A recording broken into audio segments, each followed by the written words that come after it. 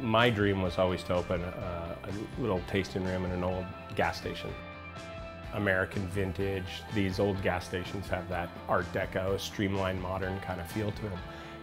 We always try and just throw another idea at it. This time it's skee ball, next time it's pinball. Good food, good music, good wine. With this spot, having a garage, we wanted to create a really creative space where people just felt super comfortable and wanted to hang out and have a good time and really get to know our wines and what we're all about.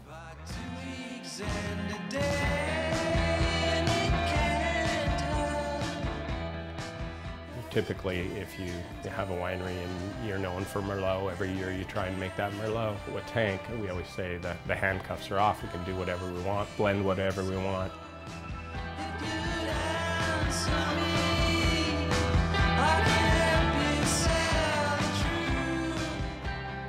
What if you had a winery that, you know, just made, you know, one run of wines and then moved on to the next thing, like James said, like an album cover. Like there's all these sort of innovative ideas.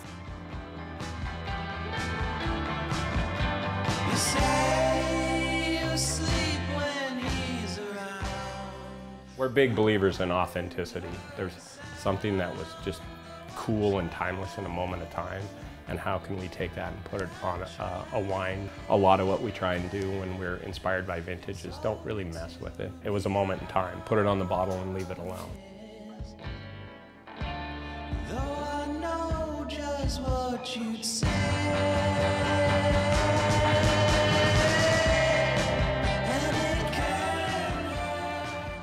There's nothing contrived here. We just do stuff that we think is cool. We don't focus group anything. We just do cool shit and hopefully there is a crowd that likes it.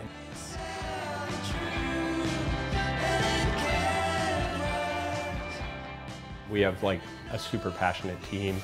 Everyone uh, loves what they do.